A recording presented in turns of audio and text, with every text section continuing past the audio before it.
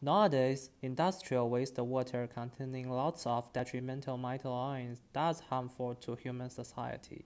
In our capstone project, we designed a polymer membrane to solve this problem. In the natural world, there are some proteins which can bend metal ions when they interact with water. We owe this phenomenon to their secondary structure, which determined by the ratio of hydrophilic to hydrophobic amino acids. Additionally, the binding sites are always some specific functional group. According to that, we designed our polymer in four parts. Target metals can be nickel, lead, and copper.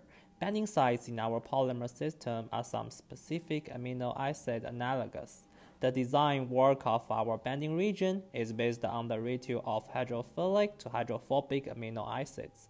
Finally, the polymer substrate will self-assemble into polymer membrane which could remove trace metal ions.